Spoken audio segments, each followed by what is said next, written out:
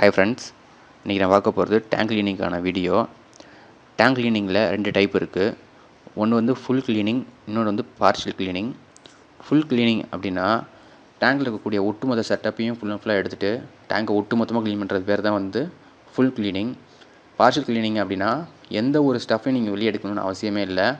வெறுமனே அந்த தண்ணி மட்டும் ஒரு ஐம்பது சதவீதம் தண்ணியை எடுத்து வெளியே ஊற்றிட்டு புதுசாக ஐம்பது சதவீதம் தண்ணி ரொப்புறது பேர் தான் வந்து partial cleaning first partial cleaning பற்றி ஃபுல் அண்ட் ஃபுல்லாக பார்ப்போம்.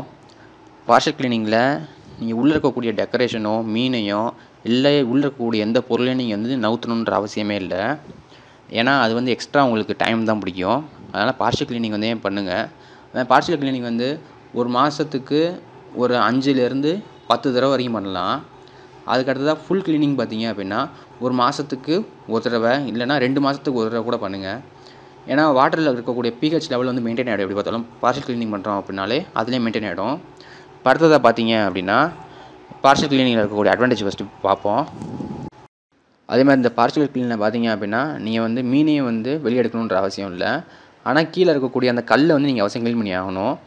இந்த கல்லை க்ளீன் பண்ணுறதுக்கு தனியாக ஒரு சிஸ்டம் இருக்குது அதை வந்து நான் உங்களுக்கு ஒரு லிங்க்கில் வந்து டிஸ்கிரிப்ஷன் கொடுக்குறேன். அதை கிளிக் பண்ணி பாருங்கள் இப்போ அதுக்கடுத்து தான் கீழே வந்து பாசி சேருது அப்படின்னா அப்போ நீங்கள் வந்து என்ன பண்ணணும் அப்படின்னா ஃபுல் க்ளீனிங் பண்ணுறீங்கள அப்போ வந்து அந்த பாசியை ஃபுல்லத்தையும் எடுத்துருங்க.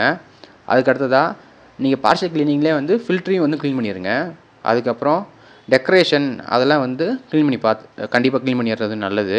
அதுக்கடுத்ததாக நம்ம வந்து அக்வாரியம் இந்த சாரி டேங்கில் இருக்கக்கூடிய ஓரத்தில் இருக்கக்கூடிய அந்த டேங்கில் இருக்கக்கூடிய அந்த ஓரத்தில் இருக்கக்கூடிய கண்ணாடியில் பார்த்தீங்க அப்படின்னா அழுக்கு சேர்ந்துருக்கும். அந்த அதே மாதிரி இந்த கடைசியில் இந்த சின்ன சின்ன ஒரு கார்னர்லாம் பார்த்தீங்க அப்படின்னா அழுக்கு சேர்ந்துருக்கும். அதை கண்டிப்பாக க்ளீன் பண்ணிடுங்க. அதுக்கடுத்ததாக தெர்மோக்கோலையும் கரெக்டாக க்ளீன் பண்ணிடுங்க. மேலே இருக்கக்கூடிய லிட்டையும் க்ளீன் பண்ணிடுங்க. இதெல்லாம் க்ளீன் பண்ணிட்டீங்க அப்படின்னா மேக்ஸிமம் வந்து உங்கள் டேங்க் க்ளீனிங் வந்து வேலை முடிஞ்சிருச்சு. ஃபுல் க்ளீனிங் அப்போ என்ன பண்ணிடுங்க அப்படின்னா இருக்க எல்லாத்தையுமே எடுத்து போட்டு டெக்கரேஷன்லேருந்து இருக்க எல்லாத்தையும் எடுத்து போட்டு ஃபுல்லாக வந்து கழுவிடுங்க. வெல் ஃப்ரெண்ட்ஸ் தேங்க்யூ எனக்கு தெரிஞ்சு இந்த வீடியோ ஹெல்ப்ஃபுல்லாக இருக்கும்னு நினைக்கிறேன்.